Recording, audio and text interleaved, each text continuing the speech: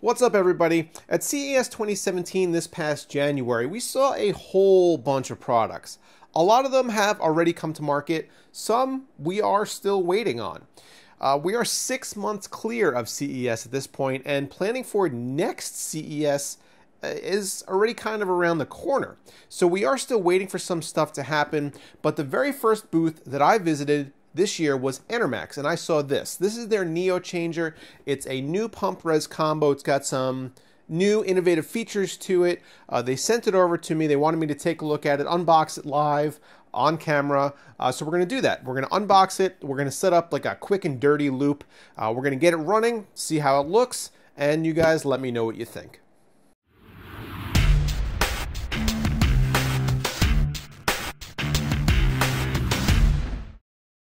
All right, guys, so as you guys can see here, we have the box. It is unopened. So I actually don't know what we're going to be getting into here um, once we open this box up.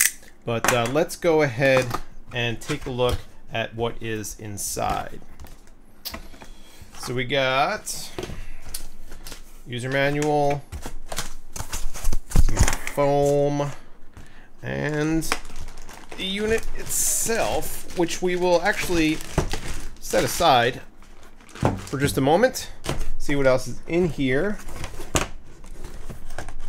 Looks like just this. Uh, so we'll take this box and move it out of the way. All right, so unit in a second. What is in the box? Okay, so uh, remote control. This is actually uh, it's not controlled controlled through software. Uh, it is a uh, just a remote that you would get like a normal RGB kind of remote that you might buy with get like a LED strip or something along those lines. And then on the back here, you see there are actually uh, four magnets, uh, so you could kind of stick this to the side of your case or something for easy access. Uh, it does come with a mount. Um, these I've found to be relatively sturdy, although um, you know unless you have two specific mounting points uh, like this and another one.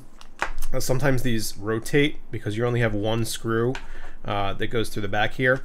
Uh, but the, the attachment to the pump itself is actually very solid. So, all right. Well, no, actually, let's see what is in here. All right, so this is a this is nice to, to have them include. This is a like a PSU tester. It allows you to um, uh, basically short two pins on the on your power supply and uh, test. Uh, it allows you to turn the power supply on without having any 24 pin connected or anything like that. So you're not putting power to your system, but you could turn on uh, the pump. Uh, some Velcro um, ties, I guess. wrench, a mounting bracket, uh, some rubber. Oh, these are for mounting as well. This is nice. It's like anti-vibration uh, rubber. And then your mounting hardware get this out of the way. Take a look at the pump itself. Okay, so here it is. Here is the main attraction. This is the pump res combo. This is the Neo Changer. Now, one of the attractions to this is that it is a combo unit. It actually takes some of the guesswork. Maybe if you're a novice builder, you've never done this before, uh, but you know everything comes already put together for you. Uh, I believe this is a D5 pump. It looks like a D5 pump at the bottom here, uh, installed already into the reservoir. This actually is an LED readout. This shows you the RPM of your pump. Uh, and then around back, you see the output, and then you have the inputs on top. Let's see if I can uh, focus that to the top. There we go. So you have your input on the top, uh, and it comes with a uh, little downspout like that. Uh, you can also see that it comes with nice sleeved cables. Uh, this is uh, an issue that I've had with some water cooling equipment in the past, and that it comes with these really ugly green and yellow and whatever cables, and then it doesn't match anything, and you got to sleeve it yourself. Uh, if you guys had seen my uh, my last uh, custom water cooled build, I actually had to sleeve the cables myself because they came unsleeved. Uh, so this is a nice addition, especially if, you know if like I said, if you're new to water cooling, you've never done this before, it's one less thing you have to worry about. So in order to get this thing up and running, uh, I am going to build, like I said, like a quick and dirty loop here, uh, get some fittings in here, fill this thing with some purple coolant, uh, and get it running so you guys can check out the display and the lighting. All right, so as promised, here is our very quick and very dirty loop. Uh, you can see that I have the tubing running out of the back and then just around to the top, so it's just kind of looping on itself. Um, but let's go ahead and power this up so you guys can see some of the effects. There you go, it flashes, and then the pump starts to run. Um, so you guys can see down here the uh, the LED readout is uh, reading 1470 right now. I think you can see that. Pretty sure. Um, but that is adjustable along with the color of this ring. So we got the remote right here um, and we could turn the ring on. I think that's a purple. Make it a white. There we go. Make it a white. Um, we can make it flash. So it says, I guess that's a slow flash.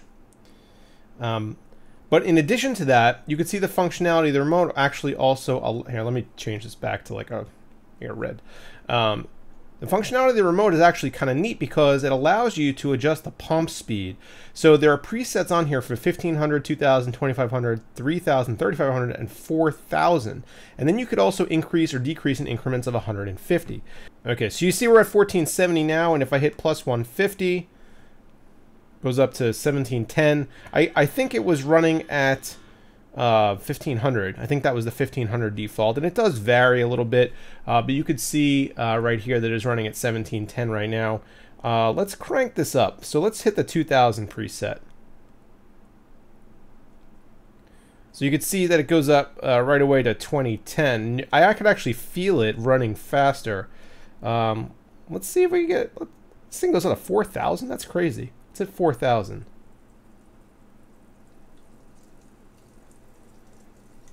Wow. This is Can you guys hear that? Hold on, we're moving over by the mic.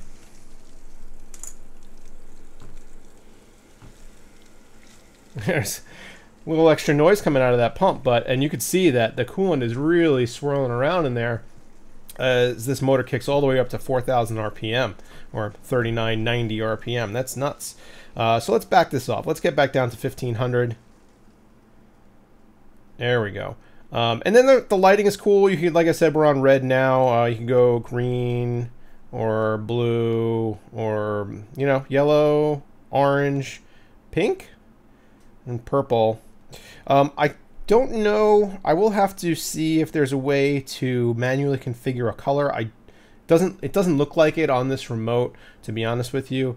Um, but it gives you eight different options, which should be probably enough to match your color scheme. And then you always have white, white, white, white. And you always have white uh, to fall back on if need be. And this is actually really cool. This ring, um, there's illuminating upwards, and it illuminates through the um, the tube, and then there's actually some lighting that comes down from the top, or it doesn't come down from the top, but it, you could see it at the top just because it's kind of radiating through the uh, through here.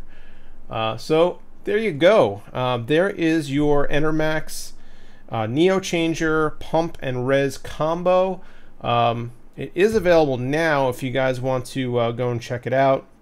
You go to the Enermax website. Um, but I am going to be probably doing a custom build using uh, this unit and hopefully some other um, some other custom water cooling gear from Enermax. Um, they said they're working on it. Uh, so uh, let's hope that it comes out soon. And uh because, uh, you know, more competition is always good. Um, see what kind of products they can come up with. So thanks for watching, guys. Uh, that's just a really quick video. Hope you enjoyed it. Get subscribed if you're not already. And uh, see you next time.